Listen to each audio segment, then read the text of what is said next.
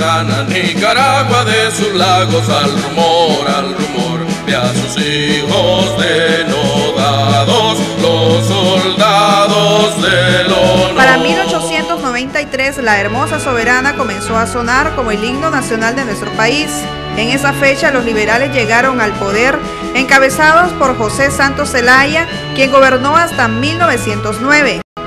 Durante esos 17 años celayistas, el Estado experimentó un proceso de consolidación institucional y de modernización. A esto se le llamó la Revolución Liberal. Zelaya reformó la constitución conocida como la Libérrima, en la que estableció una separación del Estado y la Iglesia. Los derechos y garantías de los ciudadanos se ampliaron. Reformó la ley electoral e introdujo el voto universal directo y secreto.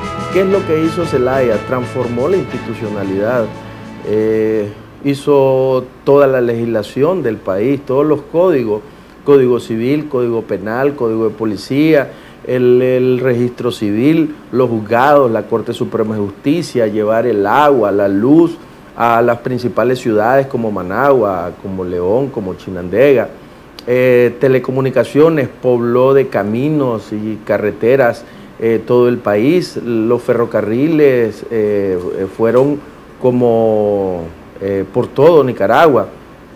Y prácticamente si han dejado gobernar a Celaya unos dos años, tres años más, hubiera llevado el ferrocarril hasta Monkey Point. Creo que Zelaya gobernó eh, enriqueciendo el Estado y empobreciendo la sociedad.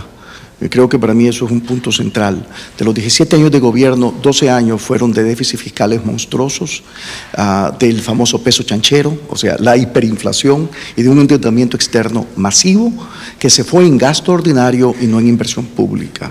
Fíjese bien lo que estoy diciendo. Y no digamos armamento bélico, ¿verdad? Eh, Nicaragua verdaderamente figuró en el mundo tuvo una diplomacia notable, conspicua, visible, pero a expensas de una sociedad que se empobrecía. El liberal Wilfredo Navarro ha escrito cuatro libros sobre la historia del liberalismo. Él considera que uno de los errores de Zelaya fue haber restringido algunas libertades del ciudadano.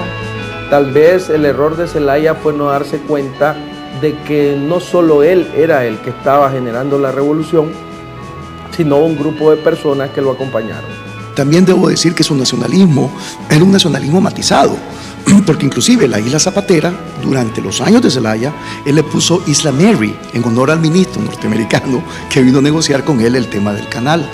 Lo que pasa es que yo soy un convencido que el antinorteamericanismo de Zelaya se, se vuelve acentuado en el momento en que el Nicaragua no es opción de canal porque la situación de Nicaragua era tan desastrosa fiscalmente con Zelaya que lo único que le quedaba por vender era precisamente su geografía.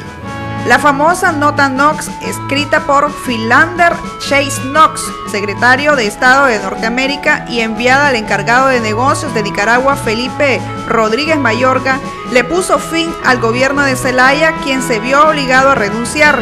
Previamente, la Asamblea Legislativa ya había designado como sucesor de Zelaya al doctor José Madrid. El general Zelaya vivió sus últimos días exiliado en Nueva York. En 1919 murió y sus restos descansan en el antiguo cementerio de San Pedro. Este es un reporte especial de Lucía Pinedo Ubau en 2222.